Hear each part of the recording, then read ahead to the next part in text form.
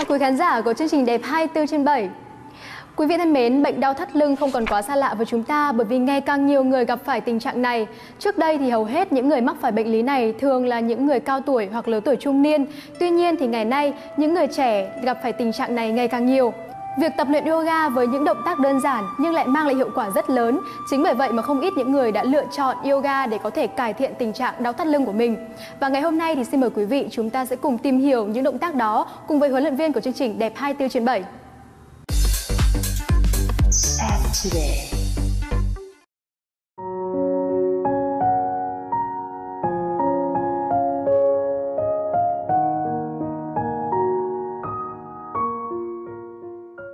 Tư thế đầu tiên chúng ta sẽ về tư thế gấp gối áp sát lồng ngực. Hai tay ôm cẳng chân của bạn. Đây là một trong những tư thế mà phục hồi cột sống của chúng ta vô cùng tuyệt vời. Khi mà chúng ta bị đau thắt lưng nặng thì chúng ta có thể về tư thế này nằm khoảng 15 phút ạ. Hoặc theo khả năng của bạn. Đưa tâm trí và hơi thở của bạn về vùng thắt lưng. Bạn sẽ cảm nhận được sự thư giãn, sự thoải mái, sự giải tỏa cho toàn bộ thắt lưng của bạn. Giữ tư thế ở đây và bạn hãy hít thở sâu chậm. Khi hít vào, bạn hãy phồng căng bụng lên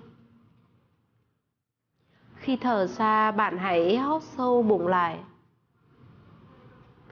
Hãy cảm nhận từng nhịp thở đang được hít vào và thở ra thật sâu, thật chậm. Tập trung hơi thở và tâm trí về vùng mà chúng ta muốn phục hồi.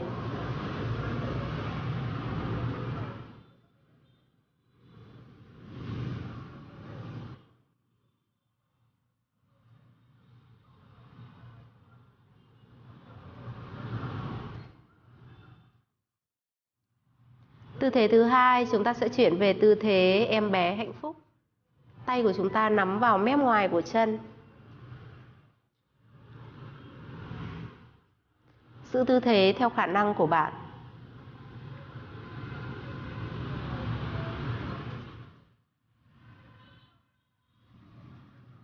Luôn hít thở đều trong quá trình giữ tư thế.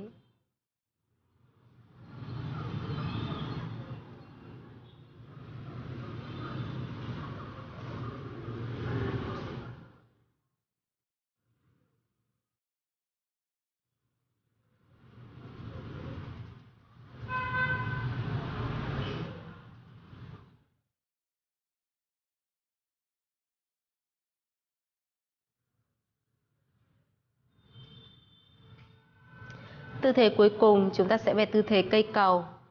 Hạ bàn chân của chúng ta xuống, đầu ngón tay giữa chạm nhẹ gót chân. Hai chân mở rộng song song.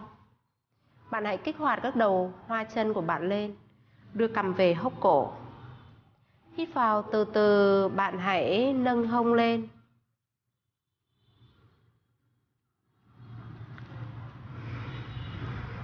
Giữ tư thế và tập trung vào hơi thở của bạn.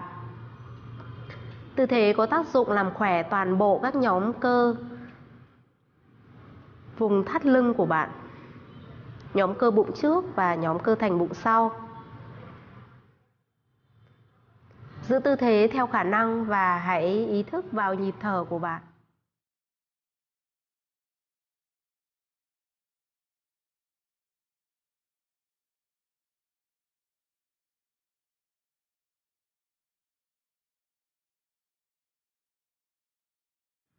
Thở ra từ từ hóp chặt bụng, hạ từng đốt sống lưng từ trên xuống dưới.